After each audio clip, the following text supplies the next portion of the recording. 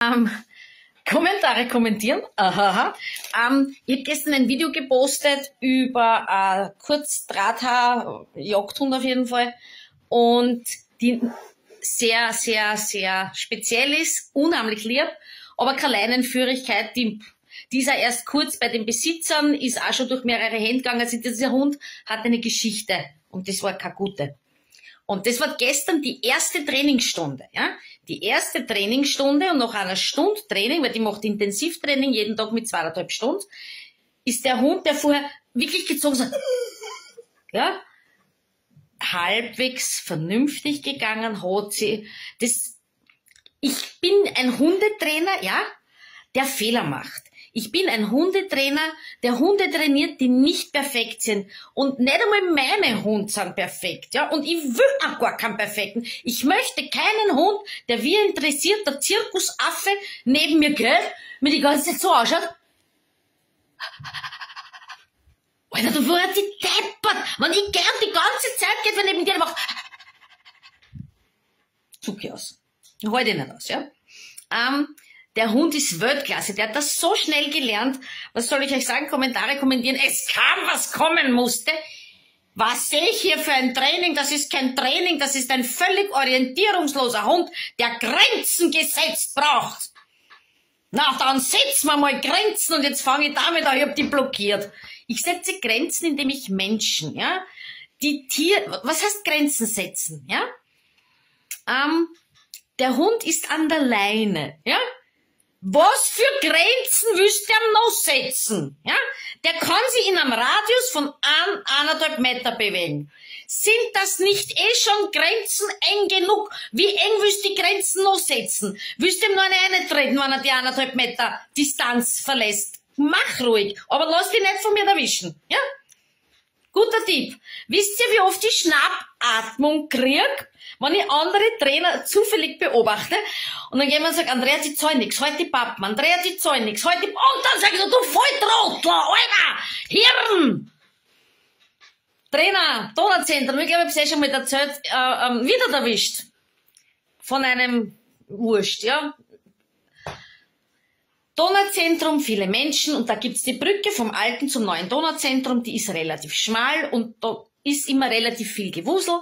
Und ist einer auf die Idee gekommen, ein Junghund, sechs, sieben Monate, acht Monate, Magia Wischler, auf der Brücke, auf der Brücke, wo die Menschen kreuz und quer koffern, abzulegen, abzulegen, ja, und sich mit der Besitzerin zu entfernen und sie drei, vier Meter von dem Hund wegstellen und der Hund liegt Allah mitten im Donauzentrum auf der Brücke und die Leute koffern an dem Hund vorbei. Alter, ganz ehrlich, Ganz ehrlich, mach eine Umschulung zu Fußpfleger. Ja, bitte. Weil Hundetrainer bist du keiner.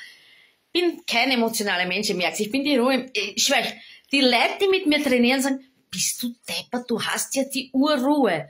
Sag ich, ja, mit Tieren habe ich auch die Urruhe.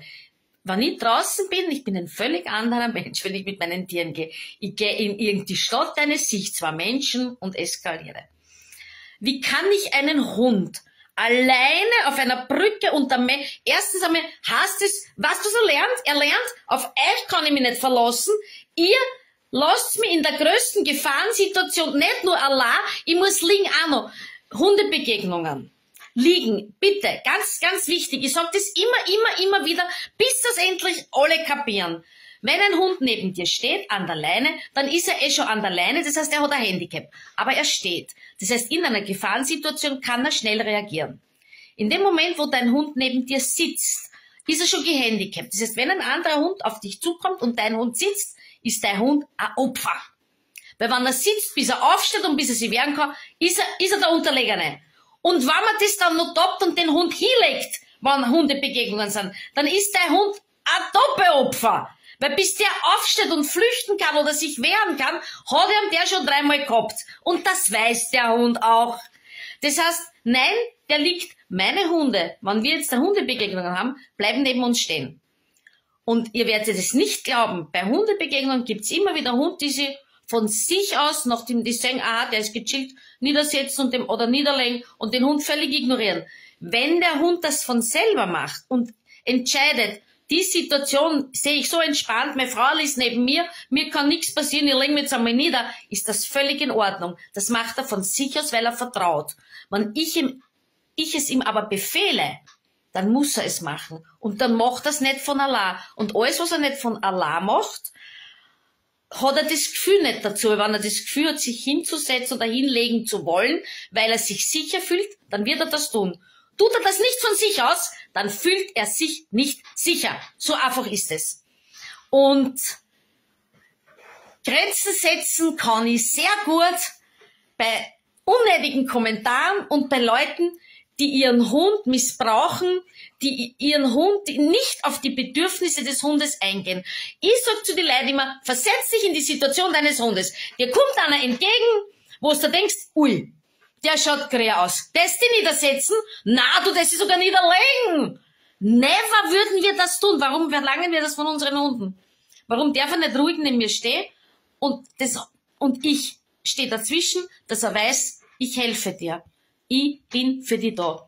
Ganz, das einzige, das aller, aller einzige, was unsere Hunde lernen müssen, ist, meine Frau wird immer und überall an meiner Seite und mit mir und für mich da sein.